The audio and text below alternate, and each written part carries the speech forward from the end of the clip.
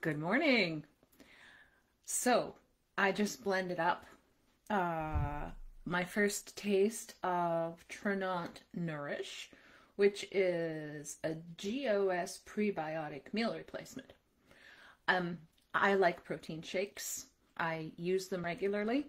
So I'm always looking for one that's good, plant-based, got all the great stuff. This one is amazing. It's uh, a little higher in sodium than the one I use, but I don't have sodium in much of my life, so I don't think I'm worried about it.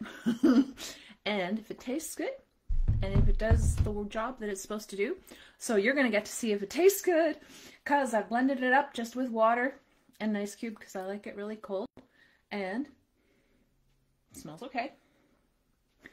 I know, right? Me and smelling things before I taste them. Okay.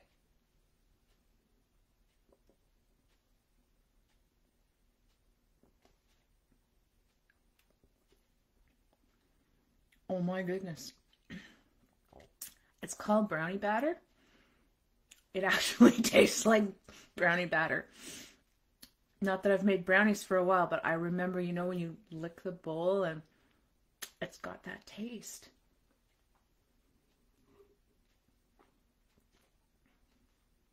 Okay, okay, thumbs up. This one gets a thumbs up.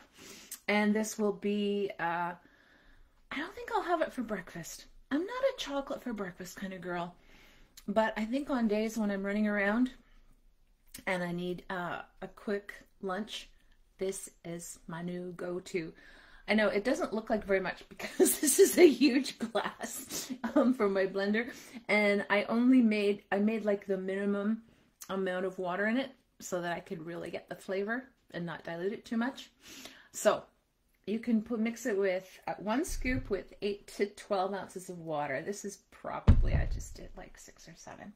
Anyhow, uh, cheers to brownie batter mm, prebiotic. I like that. Meal replacement. oh, I'm just having fun with these. I hope you guys don't think I'm too silly. Actually, I don't really care if you think I'm too silly because I think I kind of am.